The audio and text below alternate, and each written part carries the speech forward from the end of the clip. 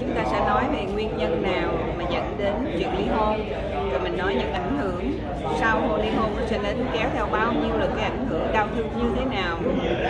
Mà trước khi mình bước vô mình không bao giờ nghĩ ra được vậy. Rồi cái cách ngăn ngừa để mình khi mình lấy cái, cái hậu quả những cái ảnh hưởng quá tan thương như vậy thì làm sao để mình ngăn ngừa? Nói những chuyện thực tế để ngăn ngừa để đời sống hôn nhân của vợ chồng mình không bao giờ có cái chuyện gì của đau thương như vậy sau đó thì mình nói vấn đề tái hôn. Mình lỡ divorce rồi thì mình đã lập gia đình lần thứ hai rồi. Bây giờ sao con anh con em con chúng ta rồi nên là đủ chuyện xảy ra trong cái tái hôn. Thì làm sao để mình giữ được cái tái hôn mà nó không có nan đề giống như cái hôn nhân đầu tiên? Thì đó là những gì mình sẽ nói ngày mai. Ừ, cảm ơn cô rất nhiều.